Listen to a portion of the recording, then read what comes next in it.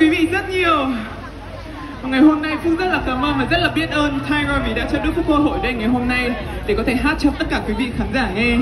Chúc cho tất cả quý vị khán giả sẽ có một buổi tối thật là tuyệt vời và trọn vẹn với Tiger của chúng ta. Và chúc cho quý vị sẽ có một năm mới thật là như ý. Cảm ơn quý vị rất nhiều. Cheers được không ạ? À? Cánh tay của quý vị đâu hết rồi ạ? À? Ok chúng ta sẽ cheers cùng với nhau nhé. Một, hai, ba, cheers!